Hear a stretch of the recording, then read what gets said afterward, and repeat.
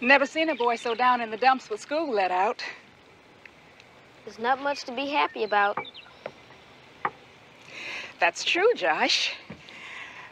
But your dad wouldn't want you to mope around all day. And neither would the president. Was he a great man, Mama?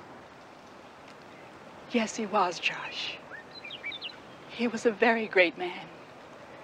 He cared about everyone, rich or poor. Even about us? Yes, Josh. Even about us.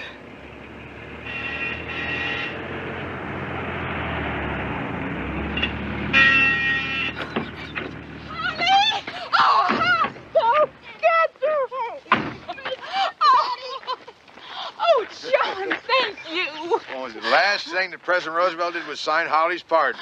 Oh. I still don't believe it. Oh, I do. You're here, Harley. You're really here.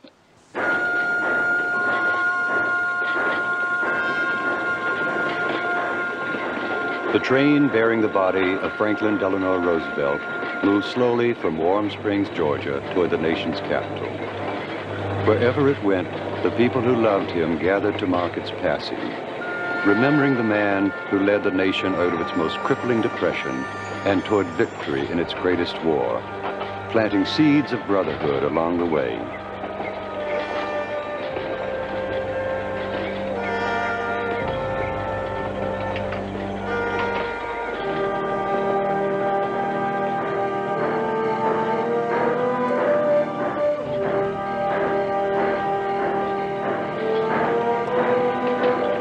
When it passed through Charlottesville, my family was there to pay their last respects.